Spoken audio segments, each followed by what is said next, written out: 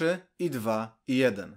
Drodzy, witajcie w kolejnej części Skoków w Mrok, podcastu, w którym przyglądamy się ciemnej stronie życia. Z tej strony Stefan i Monika. Ja jestem psychologiem i psychoterapeutą i pracuję w Instytucie Psychiatrii i Neurologii, więc temat psychologiczny jest mi bardzo, bardzo bliski. Monika jest doktorem filozofii i wprowadza filozoficznego ducha do naszych odcinków. I przy okazji uczy języka chińskiego.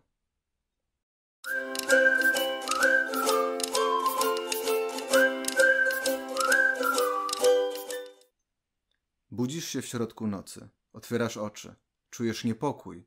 Idziesz do pokoju dziecka, nachylasz się nad jego łóżeczkiem, śpi, wszystko w porządku. Ale czy na pewno? Spokoju nie daje ci jedna myśl. A co jeśli zostanie seryjnym mordercą? A może dopiero planujesz zostać rodzicem, ale boisz się, że wyrośnie ci mały zwyrol? Cóż, możliwość taka oczywiście istnieje. Czy niektórzy rodzą się źli? Nie można tego wykluczyć, jednak znacznie częściej tacy się stają za sprawą czynników środowiskowych, nierzadko wymieszanych z genetycznymi. Dzisiaj wiadomo już, że nawet bardzo złe geny nie muszą być wyrokiem, jeśli tylko dziecko wychowywać się będzie w zdrowym i wspierającym otoczeniu. Niestety niektóre dzieci nie miały tyle szczęścia. Na przykład Richard Ramirez. Mały Richard nie miał w życiu lekko. Jeszcze zanim przyszedł na świat, wiele wskazywało na to, że chłopak może się zmagać z różnego rodzaju trudnościami. Jego rodzice, Julian i Mercedes, mieszkali w El Paso w Teksasie, a wcześniej w Ciudad Juarez, zaraz za granicą z Meksykiem, niecałe 150 km od miasta Alamogordo. I co z tego, zapytasz? Otóż w latach 40. XX wieku w bazie wojskowej, wojskowej nieopodal Alamogordo panowie bawili się dość niebezpiecznymi wynalazkami. W dniu 16 lipca 1945 roku w ramach projektu Manhattan przeprowadzono tam pierwszą próbną eksplozję bomby atomowej, test o kryptonimie Trinity.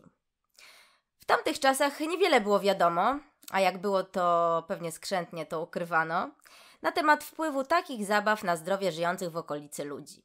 Jak tylko silniej powiało, cały ten atomowy syf unosił się z nad pustyni i wędrował w różnych kierunkach, zatruwając powietrze, ziemię i zwierzęta, a tym samym ludzi. Po pewnym czasie zaczęto zauważać ponadprzeciętną ilość wad wroconych u dzieci, w tym brak kończyn, zdeformowane głowy, wady serca oraz problemy natury psychicznej. Chociaż po cichu mówiło się, że powodem mogą być próby atomowe, dopiero po latach stanie się tą ogólnie dostępną wiedzą. Richard, urodzony w 1960 roku, był najmłodszy z piątki rodzeństwa. Najstarszy brat, Ruben, urodził się z guzami wielkości piłek golfowych na szyi i głowie. Ksiądz dwa razy udzielał mu ostatniego namaszczenia, ponieważ lekarze dawali mu niewielkie szanse na przeżycie. Jednak jakimś cudem, Julian i Mercedes codziennie się o ten cud modlili, Ruben nie umarł, guzy znikły i wydawało się, że jest ogólnie zdrowy, chociaż często płakał. Tyle szczęścia nie miał drugi w kolejności brat, Joseph, który urodził się z chorobą Oliera, powodującą nierównomierny wzrost i skręcanie się kości, co skutkowało okropnym bólem, a także licznymi operacjami. Joseph chodził też w specjalnych butach ortopedycznych, ponieważ jedną nogę miał krótszą. Kolejna dwójka, Robert i Ruth, urodziła się w miarę zdrowa, przynajmniej fizycznie. Opady radioaktywne to tylko jeden z problemów nienarodzonego jeszcze Richarda. Gdy Mercedes zaszła w ciążę po raz piąty, od około pięciu lat pracowała w fabryce obuwia, gdzie jej zadaniem było mieszanie farb i różnych chemikaliów oraz malowanie nimi butów. Substancje te były toksyczne i praca z nimi wymagała wentylacji i noszenia maseczek, ale ponieważ nikt się wtedy nie przejmował wymogami BHP, Mercedes nie miała ani jednego, ani drugiego. Przez 7 godzin dziennie stała w oparach, które często przyprawiały ją o zawroty głowy. W, weekendy była drażliwa i odczuwała niepokój. Wiedziała, że uzależniła się od świństw, które wdychała, ale nic z tym nie zrobiła. W takich okolicznościach nie powinno być dla nikogo zaskoczeniem, że piąta ciąża była dla niej najtrudniejsza. Zawroty głowy, mdłości, bóle stawów, skurcze, ciągłe zmęczenie. Było tak źle, że, że zdecydowała się w końcu pójść do lekarza, który stwierdził, że to najprawdopodobniej chemikalia, z którymi pracuje, sprawiają, że jej ciało próbuje pozbyć się dziecka. Aby utrzymać ciążę, Mercedes musiała przyjąć wiele zastrzyków. Jeśli w Twojej głowie pojawia się teraz myśl, może byłoby lepiej, gdyby ich nie przyjmowała, to z pewnością nie jesteś w tym sam. Lekarz powiedział również, że jeśli chce urodzić to dziecko, powinna jak najszybciej odejść z pracy, co Mercedes niezwłocznie zrobiła. pod koniec piątego miesiąca ciąży. Koniec historii? Nie u nas.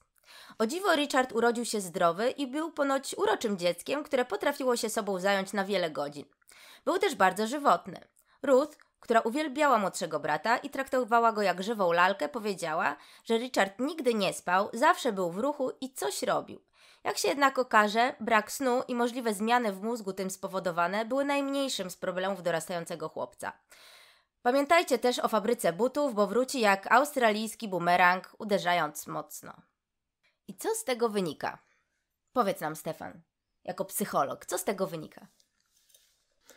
Okres rozwoju płodu w brzuchu matki do momentu narodzin nazywany jest okresem prenatalnym. To w tym czasie zachodzą najważniejsze procesy formujące przyszłego człowieka. Rozwijają się narządy, układ nerwowy, w tym mózg, najbardziej złożony organ zarządzający funkcjonowaniem całego organizmu. Zarówno dla matki, jak i dla dziecka jest to proces bardzo energochłonny i wyczerpujący. Komplikacje w okresie prenatalnym mogą mieć daleko idące konsekwencje dla dalszego rozwoju dziecka fizycznego i psychicznego. Wraz z rozwojem nauki wiemy coraz więcej na temat procesów rozwojowych człowieka, lecz wciąż za mało, aby w pełni uchronić dziecko przed ewentualnymi nieprawidłowościami. W dużym uproszczeniu można zaznaczyć, że w celu zminimalizowania zagrożeń rozwojowych matka powinna przez cały okres trwania ciąży być zdrowa, aktywna, bezpieczna, odżywiona i wypoczęta. Kiedy to się nie dzieje, zagrożenia wzrastają. Pierwszym najogólniejszym jest stres. Stres sam w sobie jest w porządku, ponieważ to adaptacyjna reakcja organizmu na różne sytuacje, jak zagrożenia czy wyzwania. Dzięki niemu mobilizujemy się do działania, oceniamy ryzyko i możemy uniknąć zagrożenia. Kiedy się stresujemy, nasz organizm produkuje trzy hormony: adrenalinę, noradrenalinę i kortyzol. Gdy stres mija, poziomy hormonalne wracają do normy. Sytuacja się komplikuje, kiedy stres jest bardzo silny lub przewlekły. Może to skutkować podwyższonym poziomem kortyzolu, co na dłuższą metę jest szkodliwe. Może prowadzić do zmian nastroju, zaburzeń psychicznych i chorób somatycznych. Badania wskazują, że u kobiet w ciąży przewlekły i nasilony stres może wpływać na rozwój dziecka. Zaobserwowano zwiększone ryzyko występowania problemów emocjonalnych, ADHD, schizofrenii, zaburzeń zachowania i funkcji poznawczych. Badania wykazały, że podwyższony lęk u matek w ciąży wiązał się z dwukrotnie wyższym ryzykiem wystąpienia zaburzeń psychicznych u dzieci. A jak to się dzieje? Odpowiedzi możemy szukać w epigenetyce, nauce badającej wpływ czynników zewnętrznych, w tym środowiska, na ekspresję genów. Mówiąc prościej, człowiek może mieć pewne genetyczne predyspozycje do zachorowania na schizofrenię, lecz choroba nigdy się nie ujawni. W innym przypadku, ze względu na trudne doświadczenia Twojej matki, kiedy była z Tobą w ciąży, może dojść do ekspresji genów, które zwiększą ryzyko zapadnięcia na daną chorobę. Czynników stresogennych jest wiele, zaczynając od tak powszechnych jak przemoc fizyczna, przemoc psychiczna, przebyte wypadki, problemy ekonomiczne, przepracowanie i wiele innych. Zagrożenia fizyczne poza stresem mogą dodatkowo skutkować fizycznym uszkodzeniem płodu i wpływać na jego dalszy rozwój.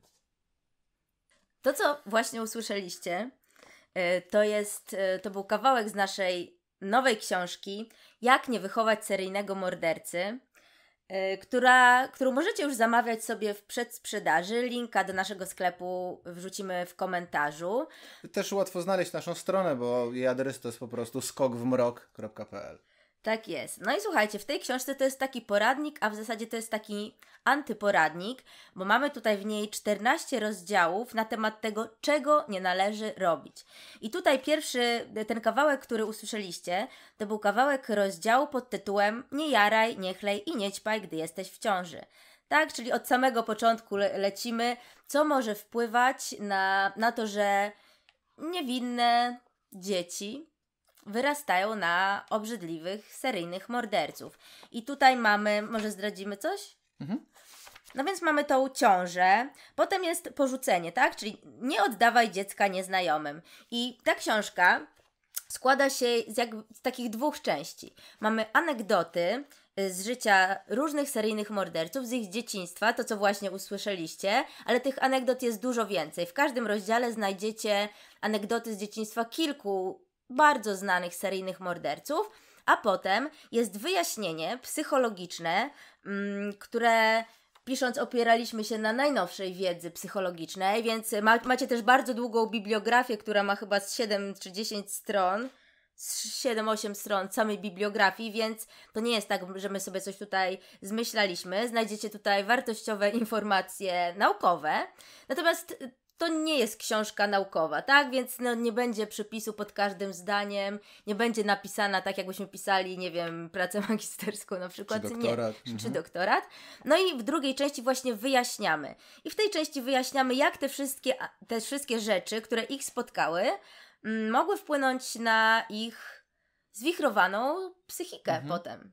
Mhm. Więc y, to, jest, to jest pozycja dla przyszłych rodziców, dla obecnych rodziców, ale dla, też po prostu dla, dla, dla, dla fanów true crime, którzy lubią sobie poczytać różne anegdotki i lubią tak trochę głębiej, tak, tak bardziej się zagłębić w temat, żeby wiedzieć skąd to wszystko wynika, zagłębić się w psychikę mordercy.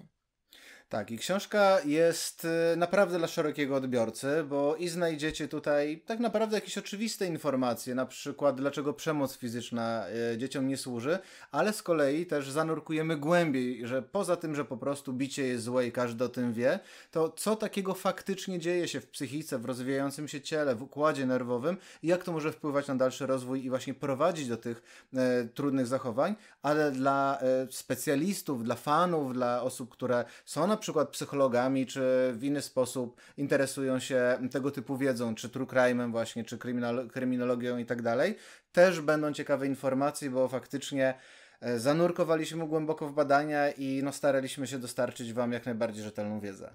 I są też obrazki. Są obrazki. E, Chociażby obrazek jest na okładce e, samej książki. No właśnie, kto to jest? Nie zdradzimy Wam tego, to jest pytanie do Was. Pojawi się też oczywiście w lepszej jakości na ekranie, też w sklepie możecie zobaczyć okładkę, jak, jak wygląda. Kto Wam przychodzi do głowy, kogo tam umieściliśmy. Tak. Jeżeli oglądacie nasze odcinki, jeżeli zapoznaliście się już trochę z, z twórczością Skoków Mrok, to pewnie zauważyliście, że nie tylko staramy się Wam zrelacjonować historię jakiegoś mordercy, czy jakiejś strasznej y, sytuacji, która gdzieś się kiedyś wydarzyła, ale zastanawiamy się właśnie skąd to się wzięło, jakieś źródło, czy, czy można było temu jakoś zapobiec, czy można to jakoś wyjaśnić głębiej, czy można zrobić coś, żeby właśnie tego typu rzeczy nie wydarzały się w przyszłości. I to e, częściowo nas zainspirowało do tego, żeby nie tylko e, przedstawić zbiór strasznych opowiadań, albo żeby tylko stworzyć historie związane z psychologią i tyle, tylko żeby właśnie poeksplorować ten wątek, który nam się wydaje, szczerze mówiąc, najciekawszy.